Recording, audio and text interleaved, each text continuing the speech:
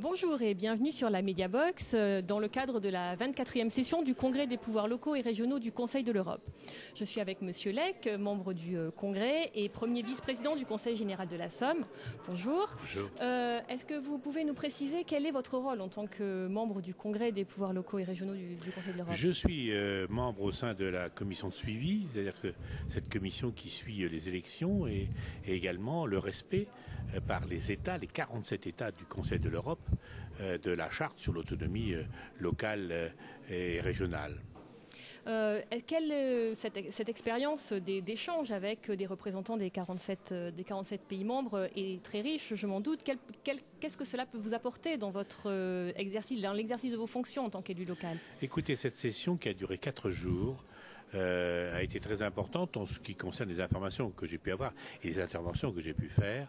La première concerne le thème général de la session, c'est l'Europe et la crise économique. Comment dans chaque pays euh, les choses sont ressenties dans les 47 pays, comment sortir euh, de cette situation euh, qui fait souffrir hein, des millions de gens qui sont au chômage. Ça a été une grande question et de savoir les expériences et les propositions qui sont faites dans les 47 États, c'est quelque chose de très important. Nous avons surtout insisté, en tout cas moi dans mon intervention, pour dire que les villes qui ont leur gestion, les régions, les départements que nous représentons, ne doivent pas être pris par les États comme des boucs émissaires de la crise. Donc diminuer la capacité de ces collectivités qui représentent, par exemple en France, 75% d'investissement. Et la deuxième chose, c'est de dire que les élus ont un statut et dans les périodes de crise, on voit monter euh, les euh, fanatismes, on voit monter euh, les extrémismes qui viennent dire c'est de la faute des communes, c'est de la faute des régions, c'est de la faute des départements et c'est de la faute aussi des élus.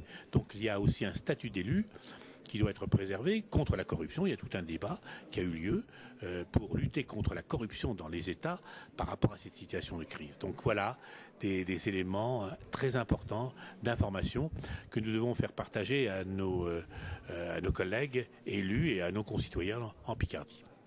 Donc le, Congrès, vous l'avez mentionné, a placé la- sa session sous le signe de la crise économique.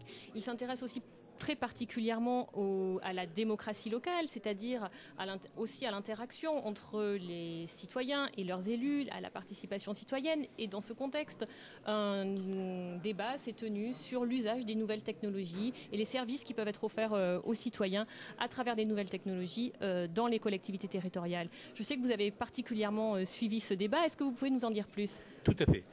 Ce matin, par exemple, dans la commission de suivi, j'ai apprécié des interventions de plusieurs villes, dont euh, la ville de Malmö, euh, en Suède, où euh, des propositions nous ont été faites sur comment, à travers les euh, médias euh, euh, nouveaux, à travers euh, l'Internet, à travers ce qu'on appelle euh, les réseaux sociaux maintenant, communiquer davantage avec la population de sa ville, de son département, sur des projets, euh, sur des réalisations, comment l'interroger, comment euh, inciter donc euh, la population à mieux participer à la citoyenneté et à la démocratie. Donc là, elle a toute une, toute une révolution informatique qui doit euh, euh, être connue euh, de nos élus et de nos concitoyens.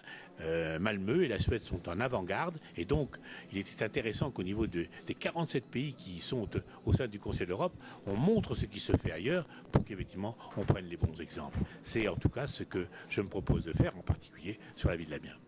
Merci beaucoup pour votre contribution et à très bientôt. Merci à vous.